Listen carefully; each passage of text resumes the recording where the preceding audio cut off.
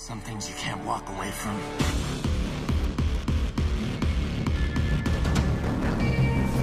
Hey guys, what's up? It's Robbie with Open World Games, and once again, we're talking all things Watch Dogs. And if you are wanting continuous coverage of Watch Dogs until release, go ahead and subscribe to us on YouTube and let me know that you guys like this video by giving it a like. It helps out a ton on YouTube. We are going to be talking about online multiplayer today in Watch Dogs, and what we know so far, actually, we're going to be getting more information very soon about online multiplayer because we just don't know about Watch Dogs. So stay tuned for that.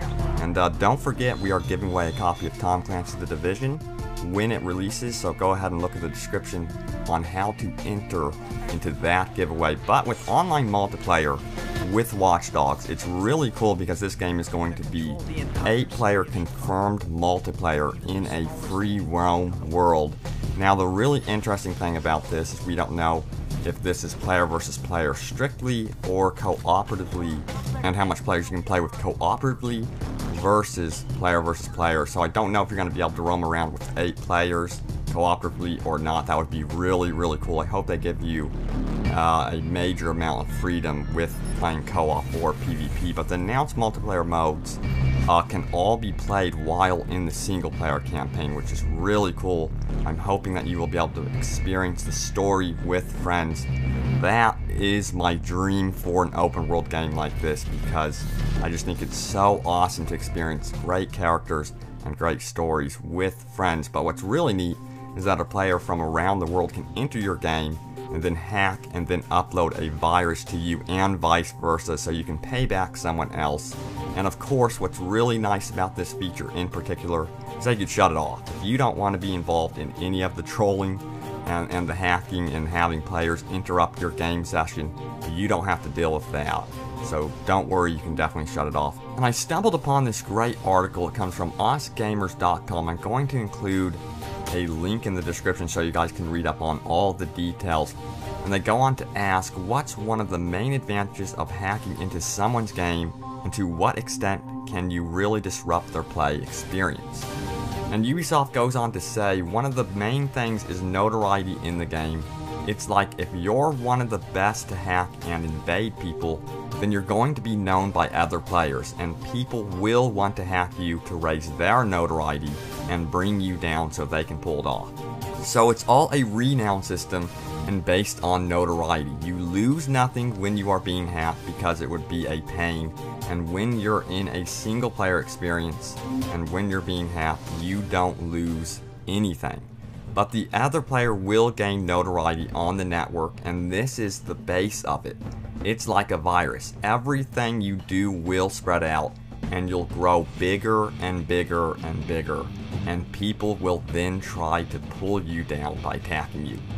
So that is awesome. I love the concepts in this game, and I just cannot wait to see this in action because you're going to be roaming around this open world, jumping back and forth between single player, side quests, dynamic events, and then you're going to be hacked and helped and then hindered. So that will be a lot of fun. You're going to end up being in this world that's going to feel very much alive. So I'm looking forward to that. And this notoriety system sounds like a really interesting aspect of the game. I'm hoping that some of the head hackers in Watch Dogs start facing off against each other. That would be insane.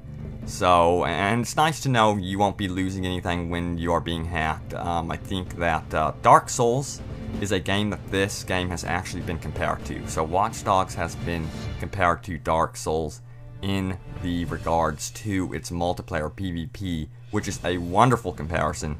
I love Dark Souls, but the nice thing about Watch Dogs is that it's not going to be as insanely difficult, obviously, because um, Ubisoft, they are very well known for making very easy games. I think uh, in many ways I don't want the game to be too difficult. Huge fan of balance in games here, so I hope they have a difficulty setting in Watch Dogs, that would be nice. But I think player versus player is going to be the challenge that this game needs. I know how you think. I see the digital shadow you cast. You lie to everyone else. You can't hide from me.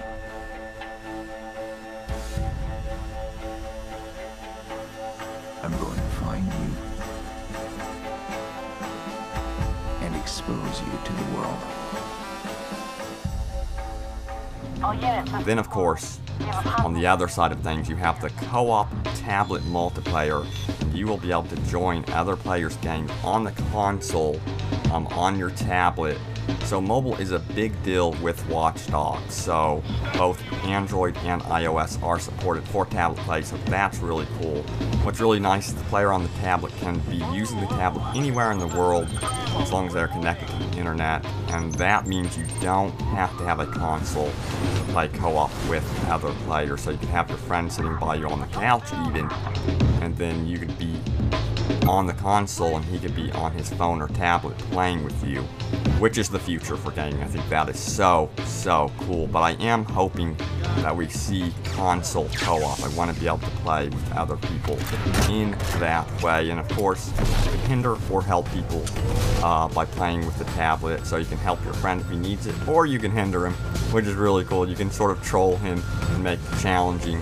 So it's going to be a lot of fun uh, seeing what uh, happens in the open world game mode with all of this going on. So you're going to be able to do single player, uh, co-op, and then a PvP without any matchmaking, and then have dynamic events going on all around you at the same time. So it's going to be a very, very unique experience.